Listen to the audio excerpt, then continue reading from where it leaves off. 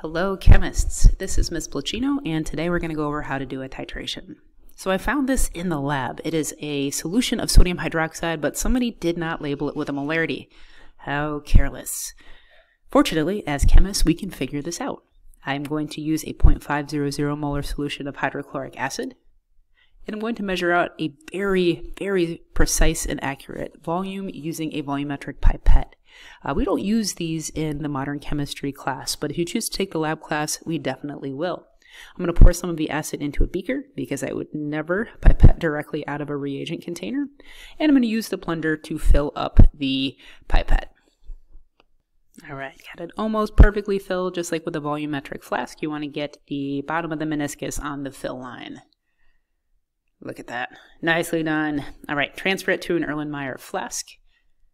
Just going to let it drain. And now I know that I'm going to have exactly 25.00 milliliters of hydrochloric acid in that Erlenmeyer flask.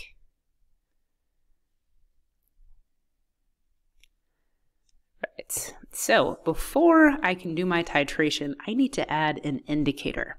An indicator is going to turn colors um, as we reach the equivalence point. You want the endpoint and the equivalence point to match up. Um, now I'm working with a solution of hydrochloric acid and I'm going to use a solution of sodium hydroxide to titrate against it. Uh, so let's think about the strength of the acid and base and maybe we can figure out what the identity is of that indicator that I'm currently holding. Okay, hydrochloric acid, strong or weak? Hopefully you're thinking it is a strong acid. It dissociates 100% in solution.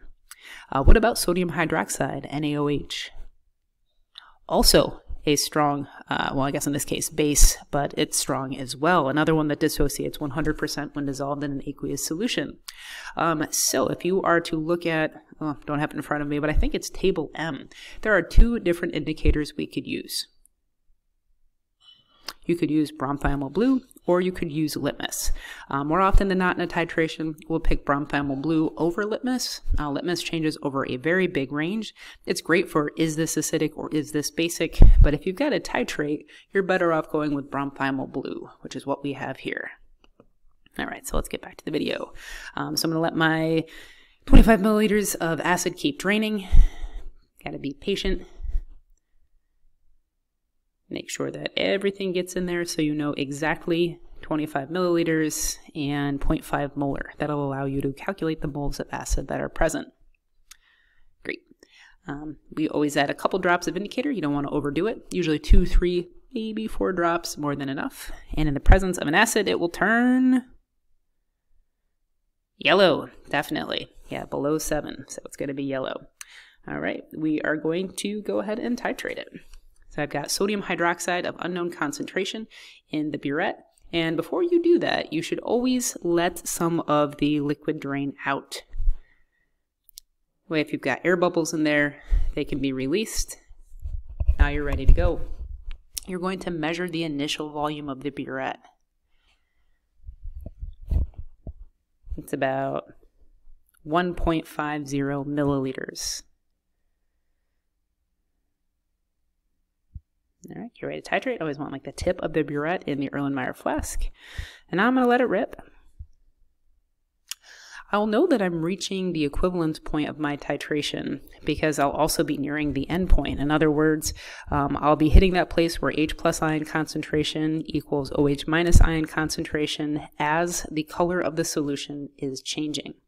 You need to be patient during titrations, and I know that's not necessarily our strong suit, but that's okay. We'll keep adding in the base. And as we do that, the pH of the solution is slowly changing. There's a ton of acid in there compared to the base, so the solution is staying pretty yellow. It's going to take some time. Um, so as the base concentration, uh, sorry, as the base is added, the OH minus and the H plus are joining together to form water, which of course is neutral. So we're not really budging the pH anywhere. We will get to a point where as you add small quantities of base, you're going to see pretty big changes in pH. And that's how we'll know we're getting close to our endpoint. And we'll start to see the color changing. So if I shut it off and add a little bit, yeah, you can see that it's turning blue. And I'll stir it. And hopefully that blue sticks around for at least 30 seconds, and that'll tell me that I've reached my endpoint. That's it. I'd record the final volume. Then I have the molarity of the acid, the molarity, sorry, the molarity of the acid, the volume of the acid, and the volume of the base that was used. Looks like about 27.75 milliliters used.